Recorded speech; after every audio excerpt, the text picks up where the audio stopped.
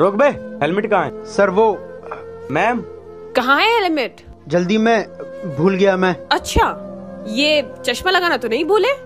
Hero बनने में कोई कमी नहीं रहनी चाहिए। शायद मैडम आपको नहीं हमारे सोन भाई कितने बड़े लोंडे वो आज अगर चश्मे लगाएँगे तो इम्प्रेस पड़ेगा लोंडे के आगे। भाई चालान काटो इनका। वो आज मेरी एनिवर्सरी है तो अरे ईशान भैया आपकी एनिवर्सरी हो या स्वागत इससे मैडम का फ़ायदा आप चलान देकर जाओ ना। आप मेरे हस्बैंड हैं तो क्या हुआ? ये इसका पति है, यहाँ पर मामा के चाचा के लोंडे तक पहुँच जाते हैं, जिससे चलान न कटे और ये घर पर ही चलान कटवा रहे हैं।